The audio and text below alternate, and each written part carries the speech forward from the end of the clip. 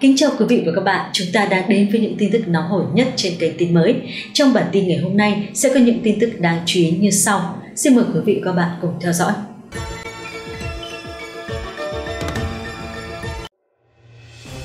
Chào mừng các bạn đã quay trở lại với bản tin của tin mới. Trong bản tin hôm nay, các bạn thân mến, tin mới sẽ mang đến cho quý vị và các bạn nội dung sau.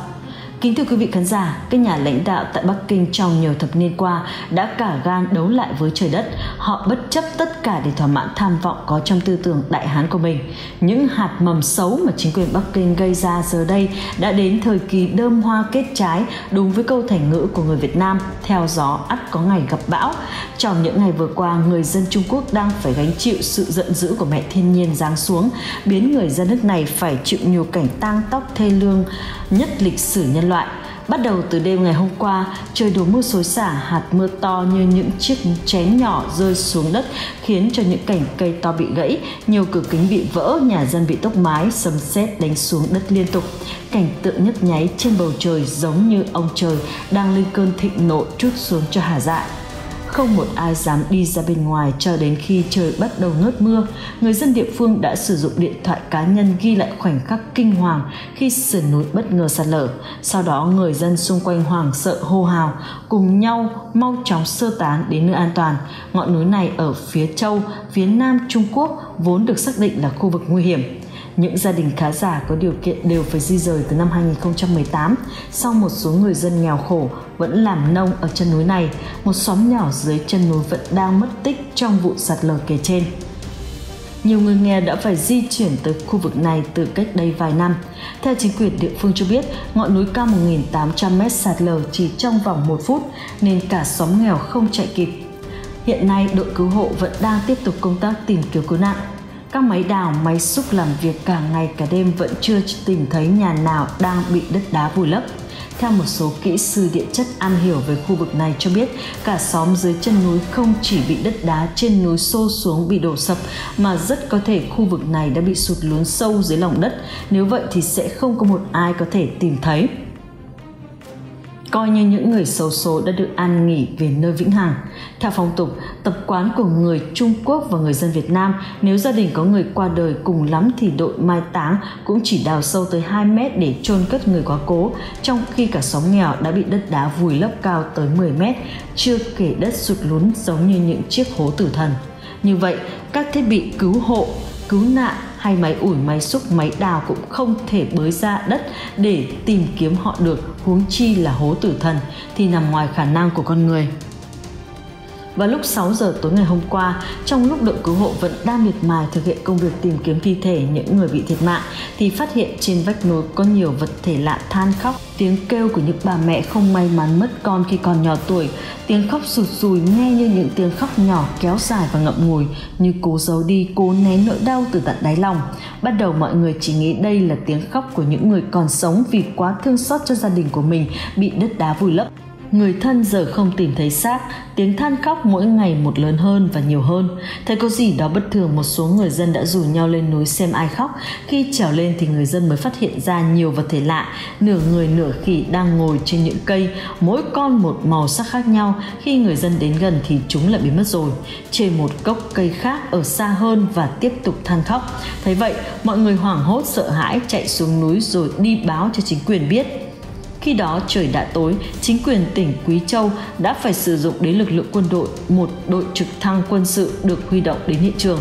Từ trên cao, những người lính Trung Quốc đã sử dụng súng máy bắn xối xả vào khu vực xuất hiện những con vật lạ, giống nửa người nửa khỉ đang ngồi trên các cành cây. Sức mạnh quân sự đã khiến chúng nhảy xuống đất rồi chạy vào một khe núi gần đó. Lúc này lính dù Trung Quốc đã nhảy xuống đất để bắt sống những con vật này, tiếng khóc trong khe núi vang xa cả một vùng rộng lớn khiến người dân xung quanh thêm phần hoang mang. Trong cùng ngày tiếng khóc càng nhiều hơn, âm thanh càng lớn hơn, giống hệt như tiếng khóc của đám tang. Có nhiều người cũng khóc trong cùng một lúc, những người lính bắt đầu cảm thấy sợ hãi khi những chiếc đèn dọi vào bên trong hang động, thấy nhiều con vật nửa người nửa khỉ đang ngồi tập trung với nhau để khóc, không người lính nào dám chui vào bên trong hang động này. Cuối cùng họ phải sử dụng đến súng máy để xả đạn vào bên trong nhưng bọn họ đều thất bại vì những viên đạn bắn vào như chỗ không người. Những con vật ngồi đó than khóc mà không hề trúng đạn, mặc dù họ đã bắn hết số đạn mang theo. Tình hình mỗi lúc một căng thẳng hơn khi quân đội Trung Quốc đã vào cuộc tiếp tục điều động máy bay trực thăng quân sự, chở thêm quân lính và vũ khí lên núi. Tiếng khóc của những con vật nửa người nửa khỉ vào ban đêm ngày càng vang xa hơn, số người hiếu kỳ đến xem ngày một đông hơn. Để ngăn tiếng khóc của những con vật này, quân đội Trung Quốc đã sử dụng đến thuốc nổ được đặt vào cửa hàng rộng. Về số người dân đến xem dưới chân núi, lực lượng quân đội phối hợp với cảnh sát Trung Quốc đã phát loa kêu gọi người dân về nhà. Sau khi người dân lùi ra xa chân núi, thuốc nổ đã được kích nổ, những tảng đá ở miệng hang đã bị vỡ từng mảng. Những con vật nửa người nửa khỉ tiếp tục tập trung ngồi bên trong khóc nhiều hơn nữa, âm thanh ngày một lớn hơn. Đến lúc này, chính quyền Trung Quốc mới thấy có điều gì đó không ổn. Một số người dân xin ý kiến chính quyền Trung Quốc bắt đầu lắng nghe người dân nói. Một cụ già sống gần dãy núi bước lại tới các nhà lãnh đạo tỉnh Quý Châu. Lực lượng cảnh sát đã phải giữ ông ở vị trí đủ an toàn cho các nhà lãnh đạo tỉnh. Ông nói rằng không thể sử dụng sức mạnh quân sự vào việc tâm linh. Anh có biết là mấy hôm qua mẹ thiên nhiên đã giận dữ, cả một vách núi đã bị bỏ săn lấp hết một xóm nhỏ dưới chân núi không? Thời tiết mưa bão, tại sao các anh là những người lãnh đạo lại không thông báo cho người dân biết để di tản trước? Chính quyền Trung Quốc đã cố tình che giấu thông tin để không phải đi làm nhiệm vụ khi trời mưa bão. Các anh dù bận đến đâu cũng phải lo cho dân, cho nước là trước mắt. Chính những người dân đã phải làm việc vất vả để đóng thuế nuôi các anh và gia đình các anh. Nhưng những tiếng than khóc chính là những oan hồn của những người dân bị chết oan uổng dưới chân núi và nhiều người dân bị các anh bức hại đàn áp họ trong nhiều thập niên qua họ về đây để thăm các chính quyền đối xử vô nhân đạo với họ bây giờ chỉ còn một cách là phải làm mâm cơm để giúp những con ma đói khát kia thôi than khóc Thấy vậy, cả bí thư và chủ tịch tỉnh Quý Châu cấp tốc cho người nấu thức ăn để mang lên thắp hương. Cả bí thư và chủ tịch tỉnh Quý Châu thành tâm cầu nguyện, cầu khấn oan hồn của họ khi thấy tiếng khóc than bắt đầu ít dần đi rồi biến mất. Vâng, thưa quý vị khán giả, giờ đây những người đứng đầu tỉnh Quý Châu Trung Quốc đã bắt đầu tỉnh ngộ. Họ không thể sử dụng sức mạnh cơ bắp hay quân sự để đấu lại với trời đất được. Thiên nhiên chỉ cần giận dữ bằng những trận bão lũ trong nháy mắt có thể nhấn chìm con người xuống lòng đất. Các trang thiết bị máy móc hiện đại nhất của con người cũng không là gì so với hố tử thần sâu vô hạn xuống thẳng lòng đất. Đây là bài học cho các nhà lãnh đạo tại Bắc Kinh nếu họ không biết sám hối, không từ bỏ những toan tính âm mưu, thủ đoạn để thỏa mãn tham vọng theo tư tưởng tưởng Đại Hán thì bao công lao của họ tạo ra đến một ngày mẹ thiên nhiên nổi giận thì sẽ biến tất cả thành quả phi pháp của họ thành cát bụi ở trần gian. Kính thưa quý vị khán giả, lũ quét kinh hoàng đe dọa khu vực ảnh hưởng của trận động đất, công tác cứu hộ tại Bắc Siêng, khu vực gần tâm chấn của trận động đất kinh hoàng ở Trung Quốc hôm qua đã phải tạm dừng. Do lo ngại nơi này sẽ bị nhấn chìm trong nước lũ, sau trận động đất mạnh 7 độ Richter ở Tứ Xuyên đầu tuần qua, các nhân viên cứu hộ đã không ngần ngại tìm kiếm những người sống sót và đưa thi thể nạn nhân ra khỏi đống đổ nát tại các khu vực bị ảnh hưởng. Hôm qua, giới chức Trung Quốc xác nhận con số người thiệt mạng trong trận động đất đã lên tới 21.002 người và 19.834 nạn nhân bị thương. Hiện vẫn còn khoảng 1.060 người bị chôn vùi trong những đống đổ nát. Sáng nay, một cơn dư chấn mạnh 6 độ Richter tiếp tục ảnh hưởng đến vùng giáp danh giữa tỉnh Tứ Xuyên và Cam Túc. Kể từ sau trận động đất hồi đầu tuần, những khu vực từ Tứ Xuyên đến Thành Đô liên tục phải hứng chịu hàng trăm cơn dư chấn gây động đất ở nhiều nơi. Hiện tượng lở đất khiến nhiều con sông ở Bắc Siêng bị dồn ứ và tạo thành hai hố lớn. Mực nước tại đây đang không ngừng tăng lên và có thể vỡ bờ. Gây lụt sâu bất cứ lúc nào. Thông qua những người dân địa phương, các đội cứu hộ, nhân viên y tế và quân đội đã nhanh chóng sơ tán khỏi Bắc Siêng và sau khi có tin nơi này sắp chìm trong lũ. Tuy nhiên, sau đó giới chức xác nhận hiện khu vực trên chưa bị nguy hiểm và lực lượng quân đội đã quay lại hiện trường để tiếp tục công tác cứu hộ. Trận động đất mạnh ở Tứ Xuyên hôm qua là cơn địa chấn kinh hoàng nhất Trung Quốc kể từ 3 thập kỷ này.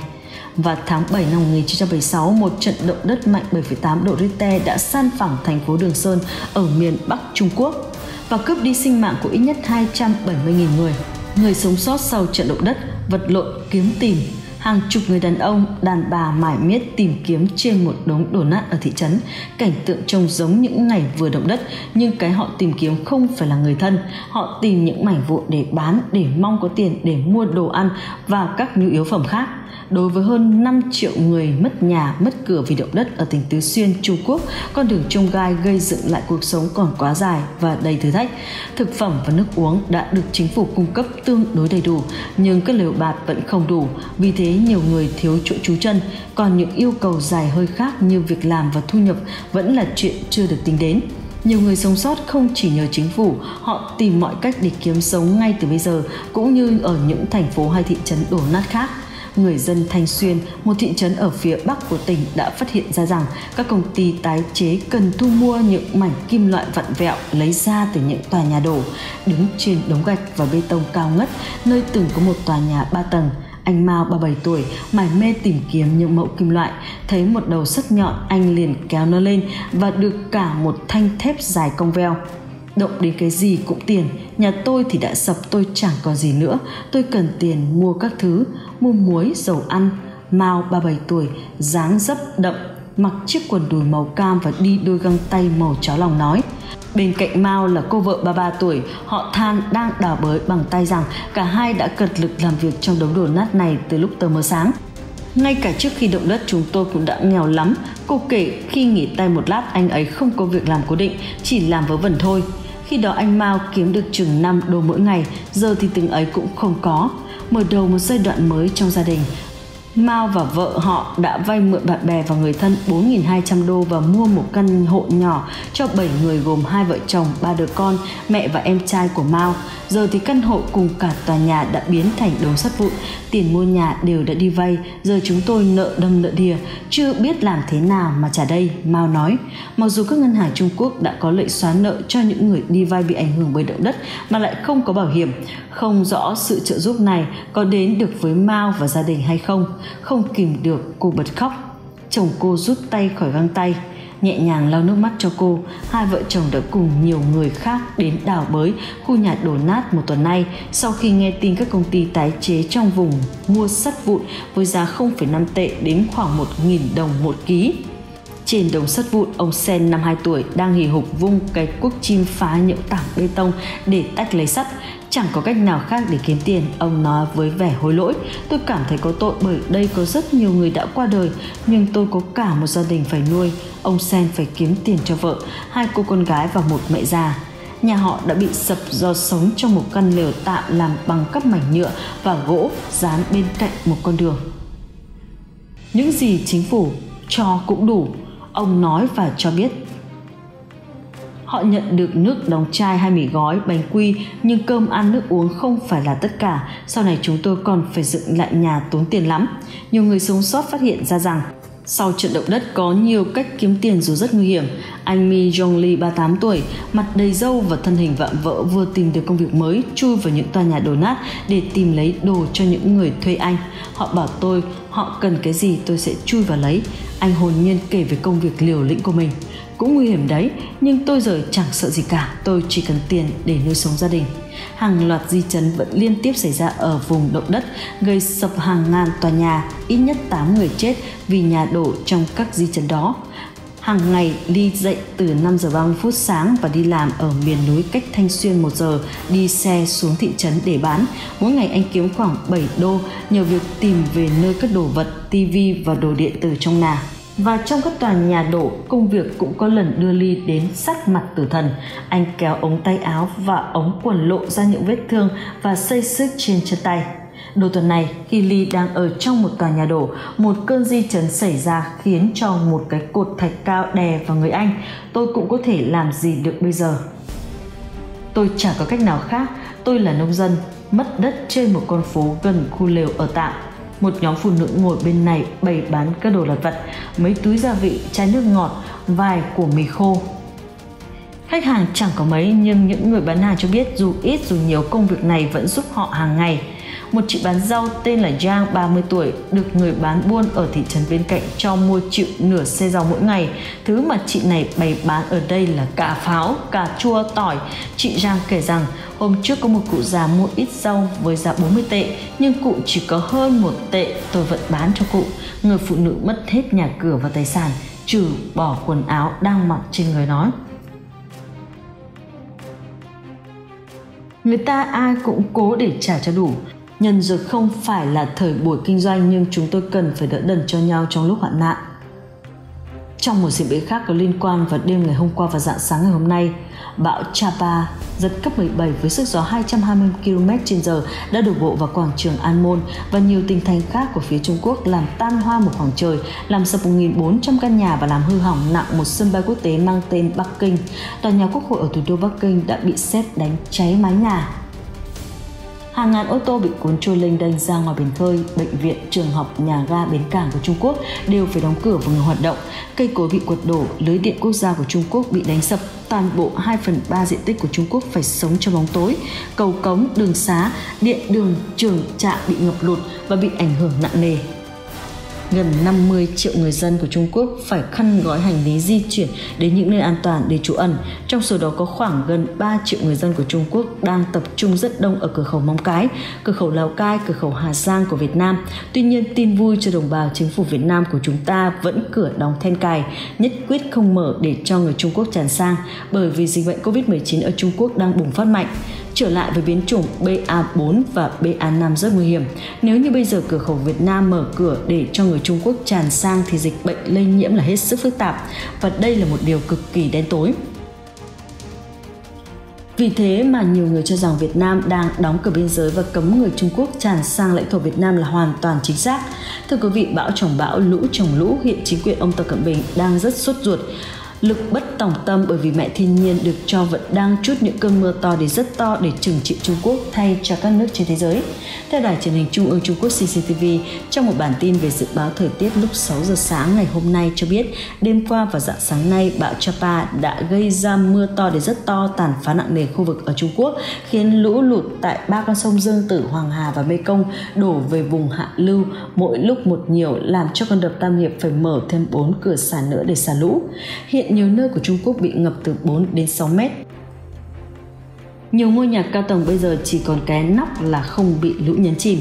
Hiện cơ quan cảnh báo động đất lũ lụt Trung ương Trung Quốc đang phát đi thông báo khẩn cấp cho toàn bộ cơ quan chính quyền cùng người dân của nước này rằng mọi người hãy tìm nơi ẩn nấp bởi vì trong chiều nay và tối nay nhất là nửa đêm và dạng sáng bão Chaba còn gây mưa lớn, gió giật cấp 17 đề phòng những cây cổ thụ sẽ cột đổ.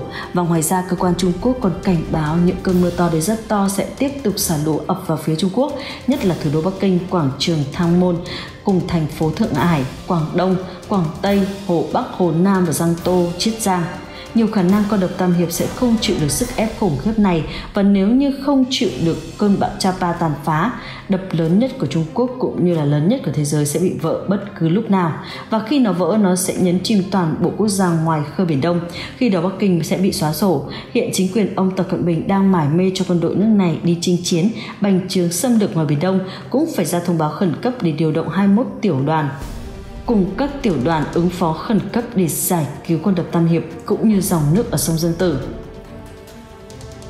Kỷ lục Trung Quốc liên tục sống trong cảnh tăm tối vẫn được tiếp diễn thay vào đó là những cơn mưa to, sấm sét, bão tố, lũ lụt, vòi rồng, động đất thay phiên nhau quần thả Bắc Kinh làm cho Trung Quốc đã tồi tệ rồi, nay còn thảm hại hơn rất nhiều.